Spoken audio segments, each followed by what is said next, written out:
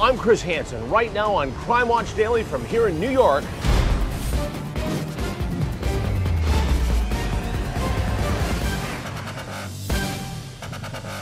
An adorable five year old suffering from a mysterious illness. We were told he has celiac disease, Crohn's disease. His worried mother on a desperate search for answers. He meant the world to her, and she was a loving mother. Or was she? Nobody could really put their finger on what she was doing. Soon sympathies turn to suspicions, and a doting mother begins to look like the devil. What did that say to you? That she's a liar. Inside the case of Lacey Spears. Something was poisoning this kid, and somebody was putting it in his system. And what cops say happened behind a hospital door that shocked everyone. What do you believe happened in that bathroom? Then, a boys' weekend on the water ends in a horrible tragedy. His last words were, oh my God. An All American football star winds up in a life vest in handcuffs, It was like he's in a straitjacket. then sinks into the lake like a stone. Was it an accident? He didn't try to save my son's life. Who does that? Who does that? Right now, Andrea Isom, sir, with Crime Watch Daily. Jason Matera with Crime Watch Daily. This I'm Elizabeth. I'm here with Crime Watch. I'm Michelle from Crime Watch Daily. Anna Garcia from Crime Watch. is Crime Watch Daily. Stay off my property. We'll find you again. We always do. Welcome to Crime Watch Daily, everyone. I'm Chris Hansen. First up, my all new investigation into the blockbuster case of Lacey Spears. It all starts when the Kentucky mother sets off on a desperate journey to find a cure for her son's unexplained illnesses. But was she trying to help him get better? Or was she the one making him so sick he would eventually die? Nana. Nana. Papa. Na Papa. A young mother, He meant the world to her, and she was a loving mother. a sick child. He's curled up in a ball in tremendous amount of pain. But was it an unexplained illness There were red flags, obviously. or prolonged torture? It's something that will haunt me. All leading to this horrific discovery. We actually had to watch a video of a five year old child being murdered. Lacey Spears grew up in Decatur, Alabama, and this all American girl loved American Girl dolls. And she would live through them. She would have them everywhere. She would clothe them, and it was kind of more than the usual little girl and doll. But for Lacey, it seemed to be a much bigger thing. Soon, Lacey's love of dolls grew into a profound love for real children, too. She always wanted to be looking after children. And when she left school, she went into childcare. And when she started taking care of children, people would notice how much more time she would spend with the children than everyone else. Right away, Lacey wanted children of her own. And her dreams came true when she got pregnant and gave birth to a beautiful little boy she named Garnett. But motherhood got off to a rocky start when, at just nine days old, Garnett became so ill that he had to be hospitalized. Within days, she was taking him to hospital and complaining that he wasn't eating and he was failing to thrive and he was getting all these infections and everything. This will be just one of dozens of trips they will make to the doctor to address Garnett's growing list of mysterious health issues. The doctors were baffled by the various things that, you know, she had Crohn's disease. She said uh, Garnett had uh, many other diseases which were inexplicable. Most notably, Lacey told doctors that Garnett would not eat.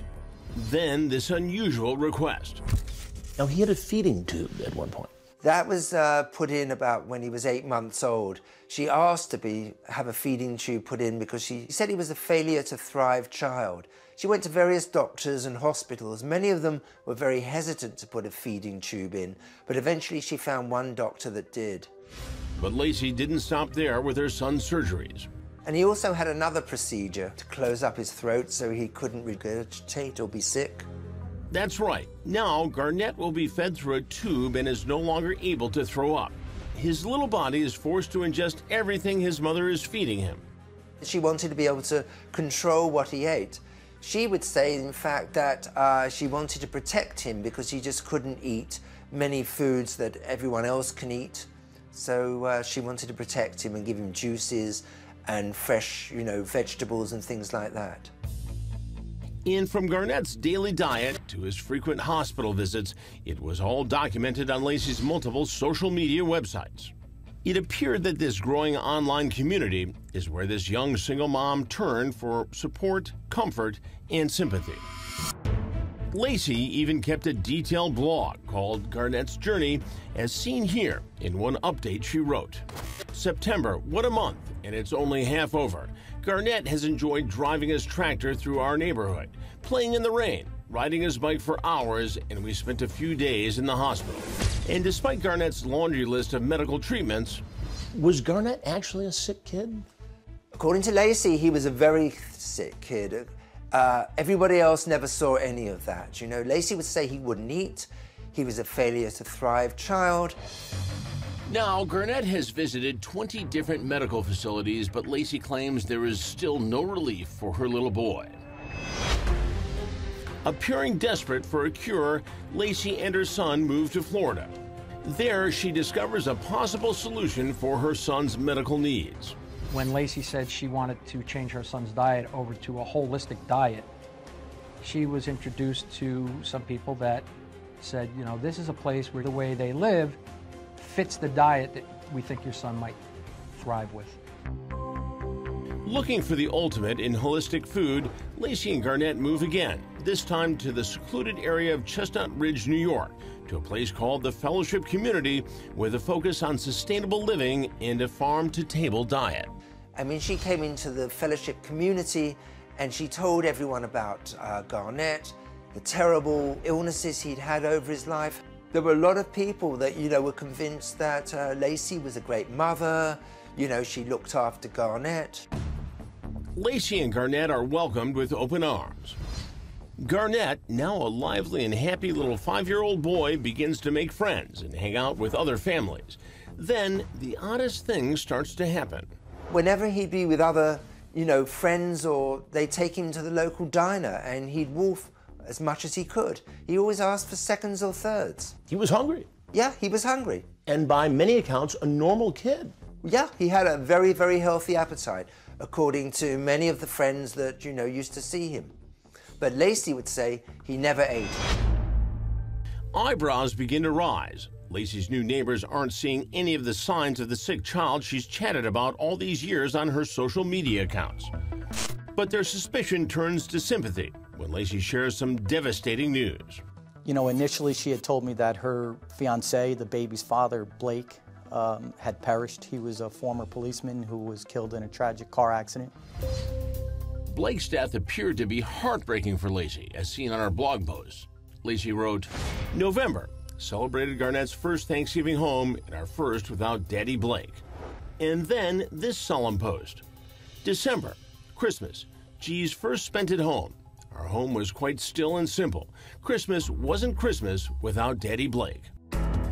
As the community of Chestnut Ridge rallies around Lacey, new questions surface about their new neighbor and her ailing son. And there were certain suspicions that something was going on, but nobody could really put their finger on what she was doing. Up next, Garnett's appetite appears to be growing stronger. Eat everything. What did that say to you? That she's a liar. And the shocker about his dad's death. Daddy Blake. Daddy Blake. Five year old Garnett had been battling unexplained health problems all his life, a fight his mom, Lacey Spears, wrote about on her blog. But when the little boy lay dying in the hospital, police would suddenly realize something odd about his illnesses, and what they found inside his mom's home would shock everyone. Young mother Lacey Spears has been searching for answers for her chronically sick five year old son, Garnett.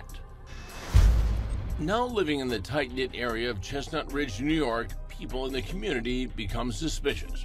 She told everyone about uh, Garnett, the terrible uh, illnesses he'd had over his life, how he was a failure to thrive child who had all these various diseases and couldn't eat. They'd take him out to a diner and they'd see him eat, you know, double portions or whatever. And things started not to add up. But Lacey is adamant that something is very wrong with her son's health. And on one afternoon, following symptoms of a high fever, severe headache, and convulsions, Lacey rushes Garnett to the hospital. It's Friday when they check in. The mother complained that he was having seizures. They hooked him up to an EEG. Uh, the first day, there is no seizures. And no seizure activity on Saturday or Sunday. According to the medical staff, five year old Garnett is the picture of health. Sunday morning comes, the nurse comes in with some great news for Lacey that Garnett had no seizure activity. He most likely would be going home. Then, just moments after the nurses and doctors leave Garnett's hospital room, A young boy who's bouncing in the bed one moment, and within 10 minutes, deathly ill. Lacey gives a play by play on her Facebook page with this post Please, please, send G some love. Went from fine to really sick in minutes. Then a tragic turn for the worse that no one saw coming. Essentially, the child was brain dead.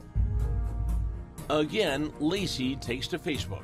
My sweet baby Garnett has been declared brain dead. It can't even be possible. That's my baby boy. I'm not ready to let him go.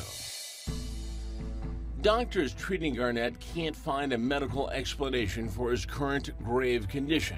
Alarmed by the suspicious circumstances, they call the police. The only information that I received from my supervisor was that uh, there was a child that was apparently on life support, and um, there were some unusual circumstances surrounding the case.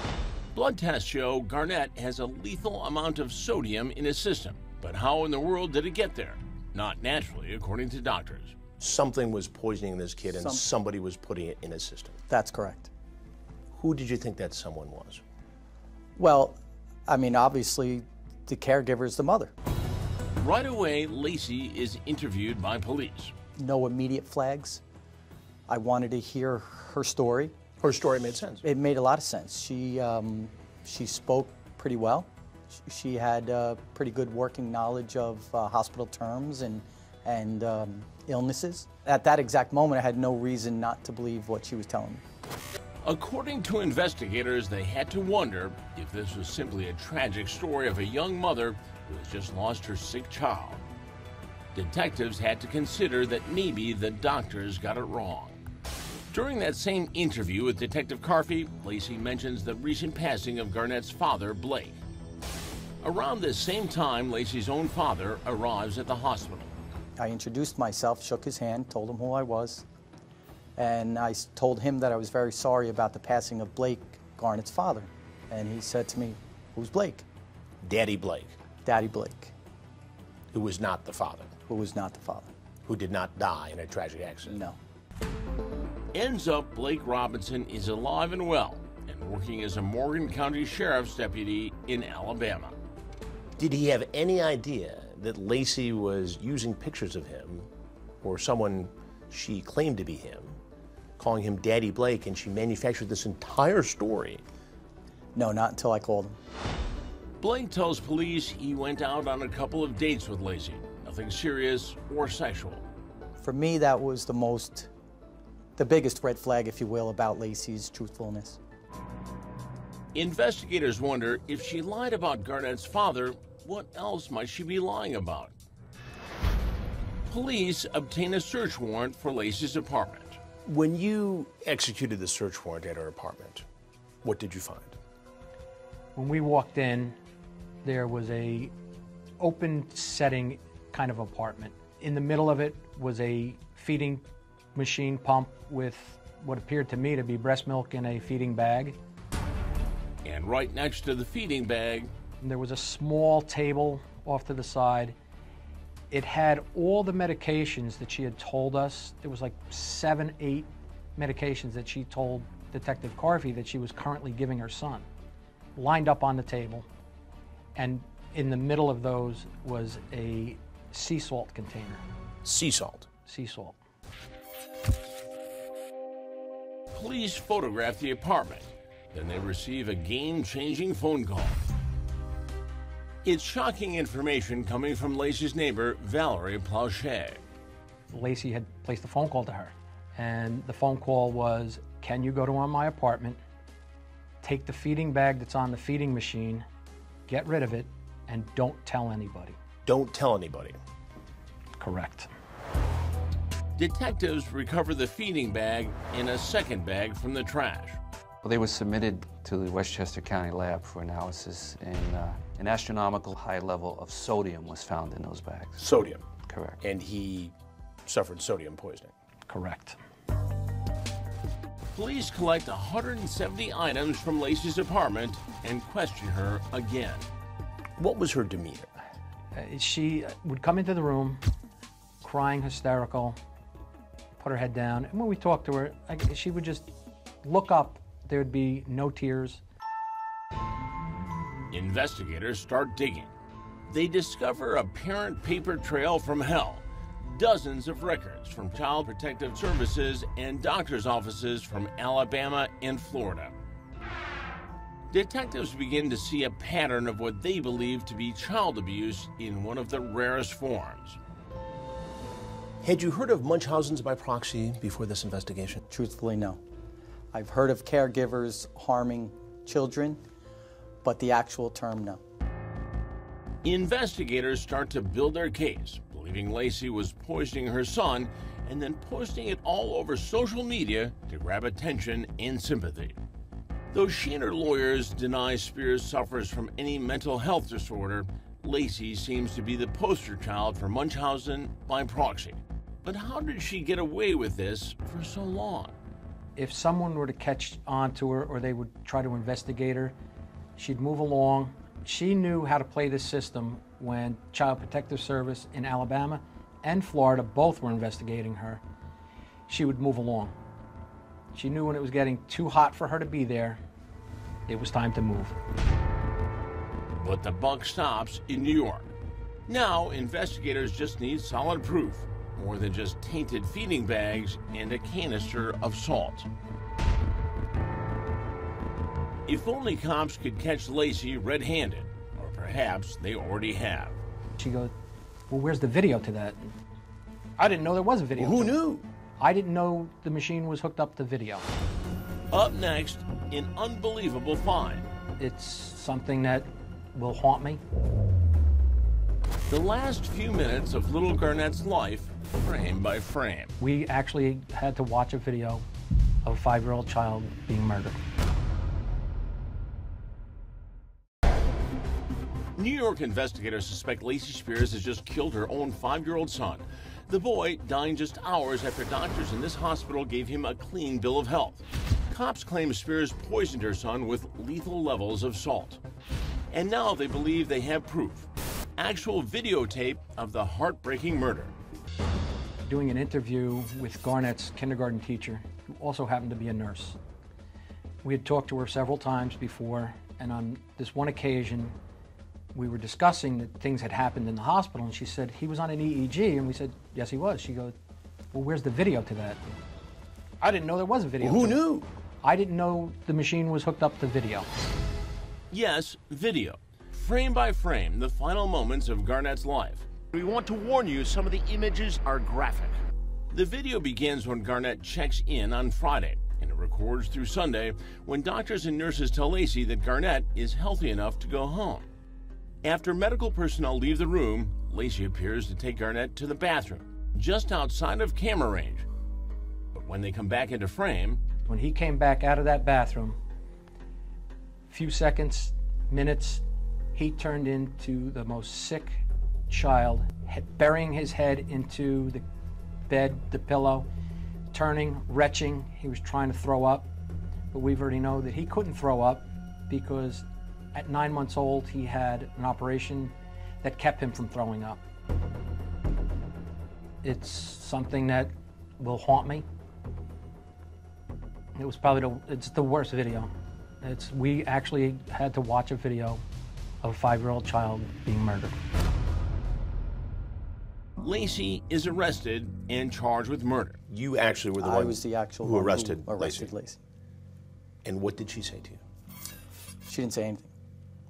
She was instructed not to say a word by her attorney. Lacey's defense team argued she didn't poison her son with salt. I think that she felt in her heart she was going to get away with this. Really? Yes. What made you think that? I don't know. I don't know if it was something her attorneys were telling her, but I think that she thought she might be able to get away with this. You were in the courtroom. I was. Describe Lacey's demeanor. It was uh, different each day. Um, I, I think uh, she looked a little scared one time. She looked mad at other times. And um, once or twice she cried a little bit. But in court, prosecutors slowed down that video to show what appears to be a feeding tube and some substance in Lacey's hands when she returned from the bathroom with her five year old son. Prosecutors claim that just off camera in the bathroom, Lacey gave Garnett a lethal dose of salt, which moments later caused his brain to swell and ultimately killed him. But there's more. The videotape evidence also shows Lacey on her phone doing Google searches. She had been on the phone, laying in the bed, and we observed that. Some of those searches were salt poisoning. Salt poisoning? Salt poisoning. On the phone at the time? On the phone, we can connect the time of the phone to the video and the search that she was doing. Unimaginable. While her precious little boy lies next to her, authorities say she's researching how to kill him. He had a right to grow up and a right to grow old, and she stole that from him. She committed the ultimate betrayal that a mother can do. She was supposed to love him, nurture him, care for him, and protect him. And she did the complete opposite, and she killed him. Lacey Spears is found guilty of depraved indifference murder of a child. Instead of nurturing and protecting a beautiful child, you subjected him to five years of torment and pain. One does not have to be a psychologist to realize you suffer from a mental illness, known as Munchausen by proxy. What does this video indicate to you?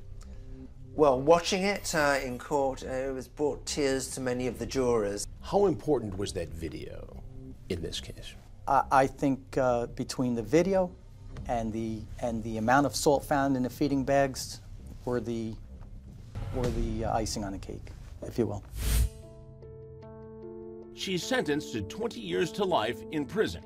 Is she a cold blooded killer? I believe she is. She sat in that hospital room when her child coded and watched him die. She watched his life slip away when there's a chance that if she would have stepped up and told them what she did, may have changed the outcome. Mama. Papa. Two more notes on this story. When Garnett passed away, his real father, Chris Hill, was devastated and posted this message in part on his Facebook page. I cried for hours when I found this out, and it will continue to hurt till the day I die.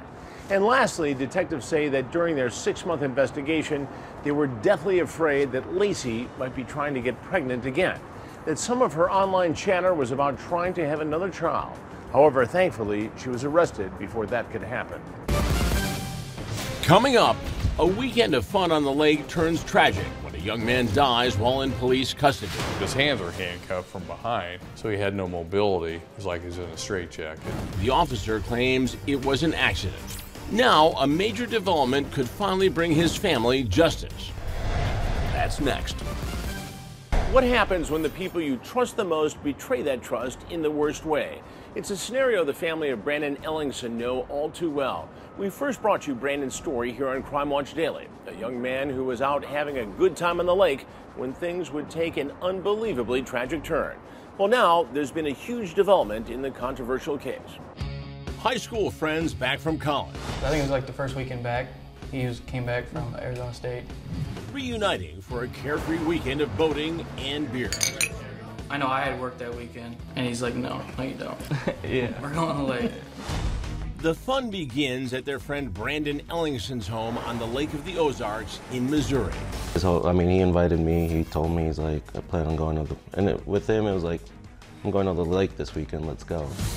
But for Brandon, the weekend would take a dark turn, ending in a horrible tragedy and a stunning case of possible criminal negligence. Never in our minds were we expecting the situation that had happened, so. Our Andrea Isom is following new dramatic details as Brandon's friends and family are speaking out about the day that would forever be etched in their memory. Brandon was a strapping 20 year old All American college student, a champion football player, and beloved son. Being his mom continues to be your greatest joy. Why? Oh, well, I was just blessed to have him in my life. He was a one of a kind. He touched so many people's lives while he was here. And I got to be there for every moment of it. Yeah, I don't remember my life without him before it happened. So Anybody he would come in contact to that was less fortunate than him, he was really kind to. So I think that was probably the biggest thing. You were honored to be his dad. Yes, very much so. I was very lucky. But luck was scarce on the day Brandon and six friends headed to the lake and spent the afternoon at Coconuts, a popular lakeside bar and grill. Tell us what happened that day. Brandon was going to be flying out pretty soon to Europe to study abroad for the summer.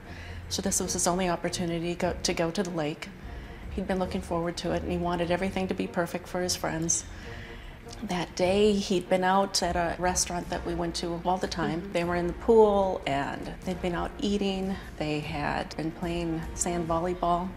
Had you guys had a few beers? Had that happened? Yeah, yeah, we were, I mean, casually drinking. It's not like we were belligerent, we passed out, nothing. We ate. I mean, we were, our whole plan was to stay there all day and hang out. I mean, it was a it was a great, beautiful day out. So. Yet under the clear blue sky, trouble was looming on the picturesque lake.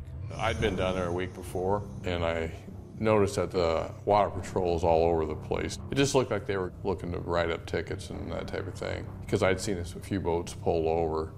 So anyway, when he was going down, I let him know that he needed to really watch out for that and um, be careful.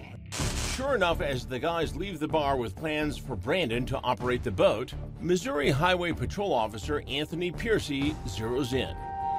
Friends believe Piercy was just waiting to pounce. Tony Piercy had spent the afternoon basically staking out this place, looking for somebody to pull over. And it didn't take long. Within minutes of leaving Coconuts, with Brandon at the helm, Trooper Piercy busts him on suspicion of boating while intoxicated. He was the first person to see the cop when he was behind us, and he was like, "Hey, can you guys like be cooperative, sit down, behave?" Brandon took charge when we got pulled over and told us to just chill out because everything's gonna be fine. No, it wasn't. The officer quickly ushers Brandon to the police boat. The arrest can be seen here in a picture snapped by one of Brandon's buddies. Trooper Piercy first does a field test, then puts Brandon in handcuffs and throws a life vest over his arms, cuffed behind his back. But tragically, that life vest would soon become a cloak of death, and this photo image the last taken of Brandon alive. You guys saw Anthony Piercy put the life jacket on Brandon. Yeah. Describe that. I mean, right from the get and go, it just didn't look right. It was already strapped up. It's one of those life jackets where you got to put your arms Arms through. through. Yeah, yeah, it was definitely not on properly at all. What's the point of even having a life jacket at that point? Like, it was so bizarre. His hands were handcuffed from behind, so he had no mobility. It was like he was in a straitjacket. Brandon's friends say Officer Piercy then quickly speeds off, with Brandon in custody, leaving the other boys behind. Lake of the Ozarks is a huge place. And he didn't even ask if anybody really knew how to operate the boat or how to get there. None of those boys were from there. They didn't know the lake. Luckily, one of our friends actually owns a boat and he's comfortable with driving a boat. Our plan was to follow him to the H Toad. And it hadn't been 30 seconds by the time we got all, all figured out, situated, and he was gone. We had no idea where he went. Out on the lake and out of sight, a simple misdemeanor arrest was about to go tragically wrong. While racing along the lake surface, Brandon is sitting in the right front seat, his hands cuffed behind his back and his feet off the deck. Then, according to Piercy, his patrol boat hit another boat's wake. The impact so strong, Brandon flies overboard.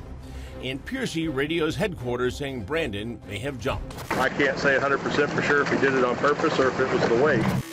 Now in the water, Brandon's life vest slips off, floating to the surface. But his hands are still cuffed behind his back. And he's sinking fast. He just had no uh, way to protect himself, and out he went. He treaded water for three to four minutes. Next, tragedy on the lake. I don't want this to happen to any other family. Was it just an innocent accident? Brandon's family says it's a cover up. You don't cover up if there's an accident. You just don't. There were way too many people's hands in this that did wrong. One minute, Brandon Ellingson was out with his buddies having fun while boating on the Lake of the Ozarks. The next, he was handcuffed in custody on a sheriff's boat heading back to shore. But what happened next was not only tragic, many feel it's criminal.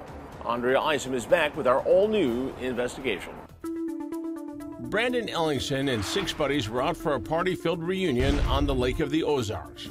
But shortly after they left a local bar and grill, the fun came to a crushing end. Brandon knew that he had done wrong because he'd had a drink and he was underage. He did not feel like he was inebriated, according to his friends. But Brandon is pulled over by Trooper Anthony Piercy for boating while intoxicated. Never in our minds were we expecting the situation that had happened, so. Brandon's friends and family tell our Andrea Isom that it all began when Brandon is handcuffed with his hands behind his back. Then the trooper slips a life vest over him without looping his arms through. A short time later, his parents get the call no one ever wants to hear.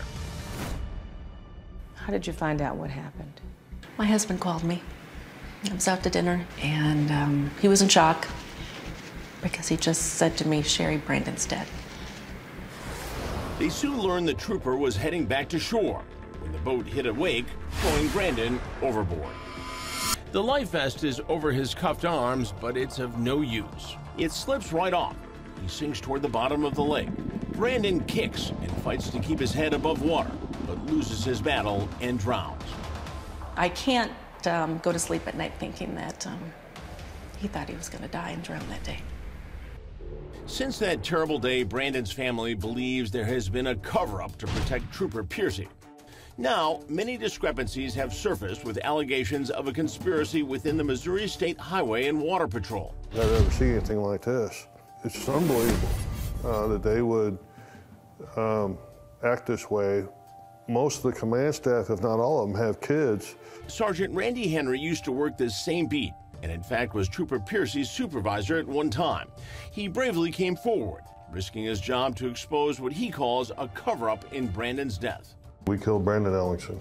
The alleged lies covering up the travesty of Brandon's death start with this radio call from Piercy to another officer saying that he was driving the patrol boat at a safe speed. I wasn't going real fast because it was real choppy. Uh, yeah, I'm guessing 15, 20, that. Yeah.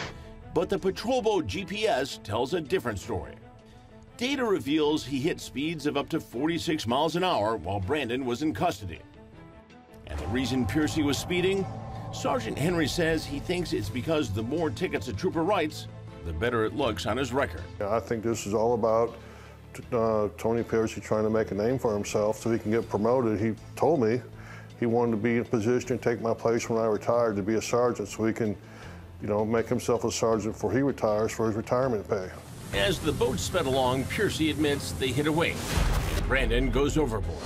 But when the trooper radios in, he says Brandon may have jumped. I, I can't say 100% for sure if he did it on purpose or if it was the wake. But Sergeant Henry says physical evidence on Brandon's body shows he hit hard surfaces inside the boat, suggesting he was thrown forward, then ejected over the right side of the boat. Brandon, he had bruising on his neck area. Yeah. That was, they tried saying in the coroner's inquest that was caused uh, by the needle marks. They tried getting blood. The only problem with that is dead people don't bruise. And when Brandon hit the water, his life vest slipped off. With hands cuffed behind him, he didn't stand a chance. You're completely submissive to me. I'm trapped in here. You're trapped. There's no way in the world I can get out. As soon as you hit the water, latch jacket comes, comes up. up. Girls at a bachelorette party on a nearby barge witnessed the whole event, reportedly pleading with Piercy to jump in and save Brandon. Sergeant Henry says those girls on the party boat said the trooper waited more than four minutes before jumping in to help. They were stunned and they, they watched Brandon Ellingson drown. They witnessed Brandon Ellingson take his last breath of air. You know, his last words were, oh my God. That was his last words. And the girls in the party barge boat said that. Knowing that, that he didn't try to save your son's life? Hmm. He didn't try to save my son's life. Who does that? Who does that? But what exactly Piercy was thinking or doing when Brandon was literally dying before his eyes is shrouded in mystery. Because the camera cards installed to capture activity on the boat are gone. those SD cards that should have been in the cameras to Mm-hmm. show the truth Yeah. without a shadow of a doubt. Yeah. Where do you think they are? The bottom of the lake. And tragically, the bottom of the lake is where Brandon was abandoned. Our Columbia, Missouri affiliate KMIZ uncovered this sonar photo where you can actually see his lifeless body 80 feet down. Moments later, you can hear Piercy complain the incident left him worn out. Sore, treading water with the bastard, but I just was spit. Damn, I thought I just ran a marathon. Even more shocking, troopers reportedly told Brandon's friends he would be held overnight in jail and they could get him in the morning. Brandon had already been dead four hours, and Missouri Highway and Water Patrol decided not to retrieve his body until the next day. Then, an audio recording reveals they callously joke about it over the radio. Dad is seven times as pissed off that we're not going to die tonight. Yeah. Well. And I wanted to tell him he's not going to be any more dead in the morning than he is right now. Sergeant Randy Henry says he was disgusted by what he heard. As Piercy's immediate supervisor, he interviews the cop after Brandon's death, grilling him about why he didn't use the proper type of life jacket that would have held Brandon afloat. His words were he had a brain fart. That he just grabbed the first like it, the life jacket he could uh, get, because he wanted to get out of there. When Sergeant Henry takes his concerns to his supervisors, he says they tried to muzzle him and didn't even write a report. I upset a lot of people in Highway Patrol, a lot. I mean, my name is, I'm public enemy number one with the Highway Patrol. That's fine. You know, if, uh, I really don't care. The case eventually goes to court, but amazingly, Piercy is given a slap on the wrist. Just a five day suspension. Sergeant Henry was transferred 90 miles away and says he was forced into early retirement.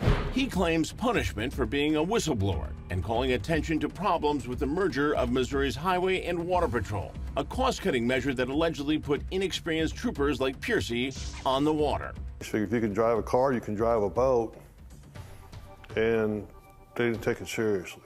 But someone did take it seriously. A special prosecutor has now charged Piercy with involuntary manslaughter in the first degree, accusing the trooper of recklessly causing the death and taking an unjustifiable risk. A Class C felony that could mean seven years in prison for Piercy. He's pleaded not guilty. What would be justice for Brandon? Well, you know, I'm not going to get Brandon back in my lifetime, but I think, you know, Piercy needs to go to jail for what he did. And the people that were covering this up need, need to be reprimanded or lose their jobs. And the system needs to change. Piercy's trial is yet to get underway as the Ellingson family suffers searing pain over their senseless loss. Brandon would have celebrated his 23rd birthday yesterday. Brandon wanted to get married, have children. He wanted four kids. Um, so that would be tough, you know. So, you know, his sister's gonna probably get married someday, and uh, he won't be there for that. So, but stuff like that. Does it hurt even more knowing that the kind of young man you raised would never do to somebody what somebody did to him? My son would have given up his life to rescue him. Anyone. A stranger. And to your baby Brandon, you say what? Miss you.